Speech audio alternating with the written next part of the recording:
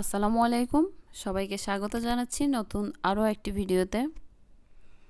তো আজকে আমি বানাবো মালাই চমচম মিষ্টি।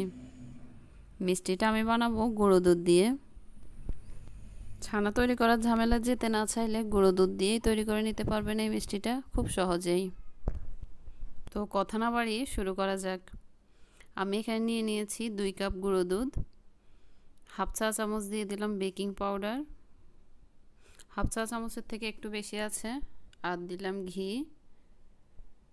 ঘিও দেখতে পাচ্ছেন চার চামচে করে এক চামচ ঘি নিলাম আমি। এবার এগুলোকে ভালো করে একটু মেখে নেব। তো আমার মেখে নেওয়া হয়ে গেছে। এবার আমি এখানে অ্যাড করব ডিম। আমি এখানে দুটো বড় সাইজের ডিম ভেঙে নিয়েছি। ডিমটা আমি ফেটিয়ে রেখেছিলাম। তো পুরো ডিমটাই আমি দিয়ে দিচ্ছি এখানে।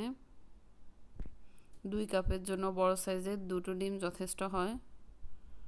তবে ডিমের মাপ অনুযায়ী কম বেশি হতে পারে, আপনারা একটু বুঝে আন্দাজ করে দিবেন। আমার মাখা হয়ে গেছে, দেখতেই পাচ্ছেন, এটা একটু আঠালো টাইপের ডো হবে। দশ মিনিট আমি রেখে দিয়েছি এভাবে। দশ মিনিট রাখলে এটা শক্ত হয়ে যায়, আর হাতের সাথে লেগে আসে না। তো দশ মিনিট পরে আমি এটাকে আরও একটু মথে নিচ্ছি। নিয়ে এখান থেকে আমি মিষ্টি বানিয়ে নিব। তো মথা হয়ে গেছে। এবার আমি হাতে সামান্য একটু ঘি লাগিয়ে মিষ্টিগুলোকে বানিয়ে নিচ্ছি।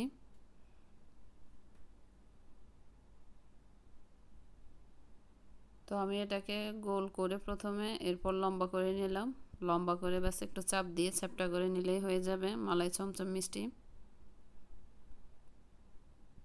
তো সবগুলোকেই আমি এভাবে বানিয়ে নিব।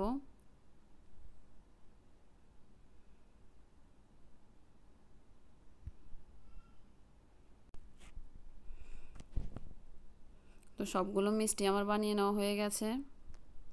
দুই কাপ গুঁড়ো দুধে, এখানে চোদ্দ পিস মিষ্টি হয়েছে আমার। আর একটু ছোট করে বানালে হয়তো আর একটু বেশি হবে।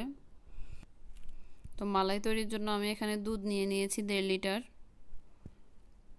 এখানে আমি সাড়ে বারোশো গ্রামের মতো নিয়েছি ঘন দুধ বা অ্যাবোপারেট মিল্ক যেটা পাওয়া যায় বাজারে সেটা।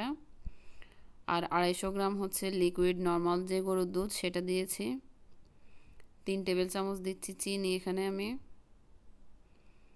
আপনাদের স্বাদ অনুযায়ী চিনিটাকে আর একটু কমিয়ে বাড়িয়ে দিতে পারেন।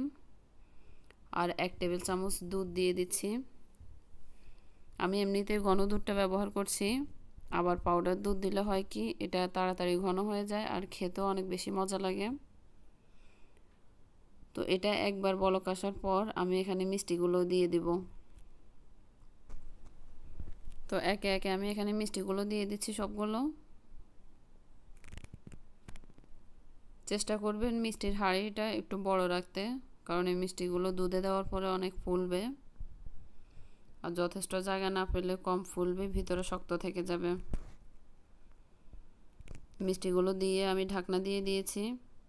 আর যেহেতু দুধ উতরে ওঠার ভয় থাকে, তাই একটু নাড়াচাড়া করে দিবেন। অথবা ঢাকনাটাকে এভাবে তুলে দিলেই আর উতলে পড়বে না।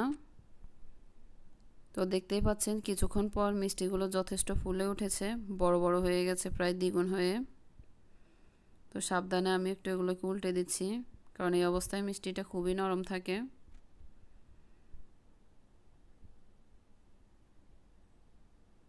তো আমি এটাকে আবার ঢাকনা দিয়ে রান্না করব। প্রথম অবস্থায় আমি পাঁচ মিনিটের মতো রেখেছিলাম।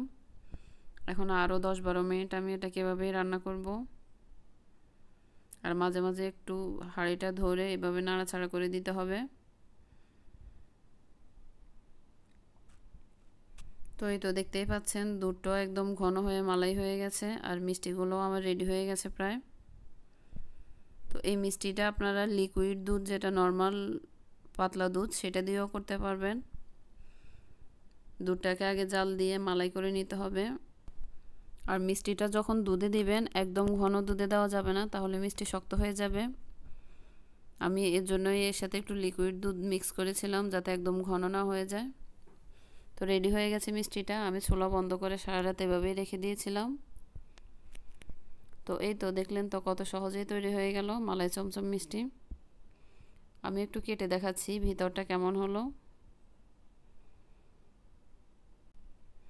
তো দেখতেই পাচ্ছেন ভেতরটা অনেক সফট হয়েছে। আর খেতে তো মাসাল্লাহ অনেক মজা হয়েছে। এভাবে একবার ট্রাই করে দেখতে পারেন। তো আমার ভিডিওটি আপনাদের কাছে ভালো লাগলে আমার চ্যানেলটি সাবস্ক্রাইব করে দিবেন আর বেল বাটনটি চেপে দিবেন পরবর্তী ভিডিওর নোটিফিকেশান আগে পাওয়ার জন্য। আজকের মতো এখানেই বিদায় নিচ্ছি। সবাই অনেক ভালো থাকবেন। আল্লাহ হাফেজ।